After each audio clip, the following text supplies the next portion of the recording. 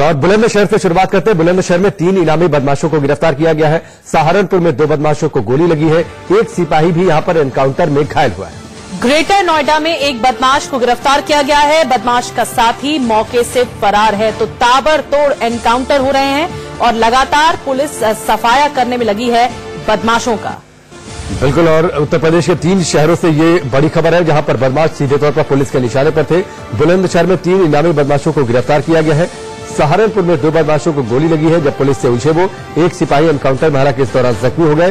Greater Noida में एक बदमाश को गिरफ़्तार किया गया है। बदमाश का एक साथी मौके से भागने में कामयाब रहा। और इससे पहले भी आपको बताए इतिहास में अगर पहले, दो दिन पहले की घटना है, जब तीन और शहरों में एनकाउंटर हुआ था। शिव प्रसाद हमारे साथ और ज़्यादा जानकारी के साथ जुड़ गए हैं।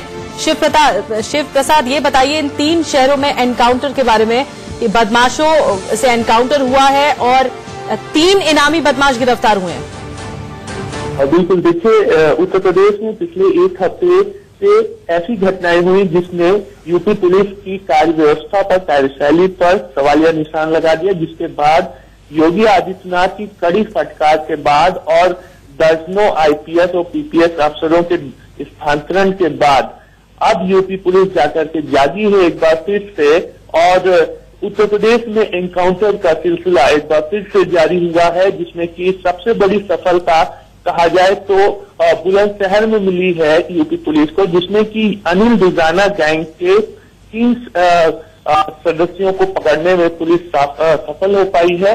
और ये सभी इनामिया बदमाश थे, साथ ही साथ अन्य शहरों में भी धरपकड़ जारी है। और बुलंदशहर के साथ साथ सहारनपुर ग्रेटर नोएडा इन सभी जगह पे इनामिया बदमाश पकड़े गए हैं और पुलिस के साथ सीधी मुठभेड़ हुई है। कई बदमाश घायल हुए हैं और यूपी पुलिस ने एक बार फिर से ये ऑपरेशन टीम शुरू किया है जिसमें कि डीजीपी मुख्यालय से दिशा निर्देश जारी किए गए थे। यूपी पुलिस का जैसे एक बार फिर से जागी है। चलिए, शिव प्रताप, फ़िलहाल हमसे जुड़ने के लिए जानकारी के लिए आपका बहुत बहुत शुक्रिया निश्चित तौर पर आपने ठीक कहा कि कुछ दिन पहले उत्तर प्रदेश में 28 आईपीएस अधिकारियों का तबादला हुआ था और उसके बाद एनकाउंटर का सिलसिला एक बार फिर से शुरू हुआ है। ऑपरेशन क्लीन, जिसका आपने ज़िक्र किया, तीन शहरों की तस्वीर आपकी टेलीविज़न स्क्रीन पर, बुलंदशहर, सहारनपुर और ग्रेटर नोएडा की तस्वीर। बुलंदशहर में तीन इनामी बदमाशों को गिरफ़्तार किया गया है। सहारनपुर में दो बदमाशों को गोली लगी है। एक सिपाही हालाँकि इस दौरान एनकाउंटर में जख्मी हो गए।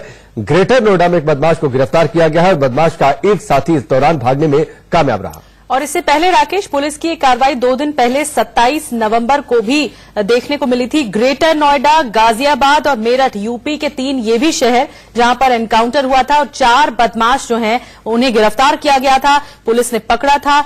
इसके अलावा आपको ये भी बता दें कि इन बदमाशों से लूट, हत्या, डकैती जैसे संगीन अपराधों में दो दर्जन से ज़्यादा मुकदमे इन बदमाशों के खिलाफ दर्ज थे। तो ये यूपी पुलिस का एनकाउंटर अभियान चल रहा है और बदमाशों को पकड़ने की कवायद तेज़ी से आगे बढ़ाई जा रही है।